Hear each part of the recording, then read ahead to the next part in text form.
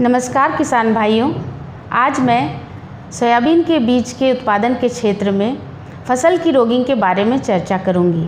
जैसे रोगिंग क्या होती है, इसे क्यों करना ज़रूरी है और रोगिंग सही तरीके से करने के लिए हमें क्या जानकारी ज़रूरी है।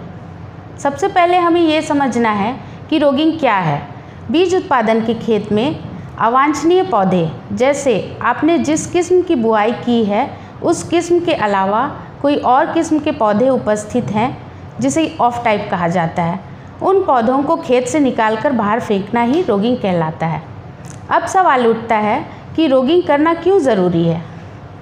किसी भी बीज उत्पादन कार्यक्रम में गुणवत्तापूर्ण बीज उत्पादन करने के लिए बीज का अनुवांशिक एवं भौतिक रूप से शुद्ध होना अति अनिवार्य है। बीज लॉट में मिक्सचर या एक किस्म से दूसरे में दूसरे किस्म के बीज के मिश्रण से उससे उत्पादन होने वाले बीज, शुद्ध बीज नहीं माने जाते और बीज प्रमाणीकरण के समय उस बीज लॉट के जीओटी टेस्टिंग फेल हो जाने की संभावना रहती है।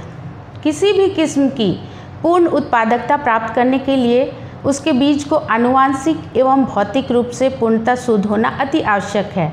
इसलिए बीज उत्पादन से जुड़े हुए किसान भाइयों को रोगिंग अवश्य ही करना चाहिए। सोयाबीन में रोगिंग मुख्यतः दो बार की जाती है। पहले चरण की रोगिंग फूल आने पर की जाती है और दूसरे चरण की रोगिंग फ़सल पकने की अवस्था में की जाती है।